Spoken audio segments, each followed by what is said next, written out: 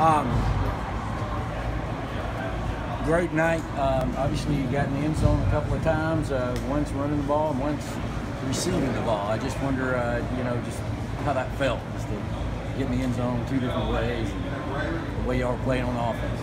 It feels good, you know, uh, just to, to, open up the offense a little bit more, um, get your, get my feet wet a little bit more on the ground, and um, just what, what, I'm capable of doing each in, each out, and um, and the pass they threw to me, you know, just trying to make somebody miss again in the end zone.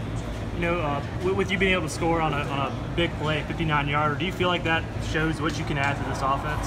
Oh yeah, I mean it's been there. You know, I just got to uh, take advantage of opportunities I get, and I did that today. And uh, with Terry going down, uh, I had to step up, and uh, and that's and that's what they expected me to do. And I expected Terry to expect me to do the same thing. So uh, I just had to step up and um, do what I had to do. Do you finally feel like an offensive player, a receiver, uh, as opposed to you know what just an athlete before?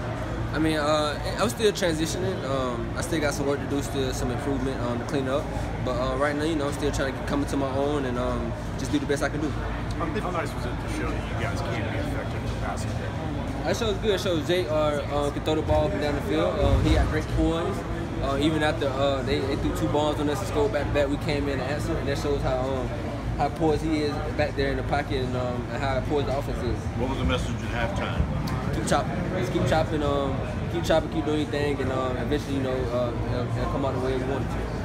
Do you feel like this offense is still like its potential is untapped? In other words, that you can guys can play even better than you have. Oh yeah, definitely. We still ain't scratched the surface yet. Uh, we preach, we every day. Just keep chopping wood, keep getting better, keep keep better every day, and that's all we're doing. Just keep getting better. And uh, I think we got a lot of improving to do. We always can improve, and uh, that's what we look to. We don't never go in thinking that we made it, so we just want to keep improving each in, each out. So there's so much talk about you as a playmaker in the spring. Uh, then obviously you, had, you dealt with some drops. What was it like to put together a game like that where you started and finished with big plays?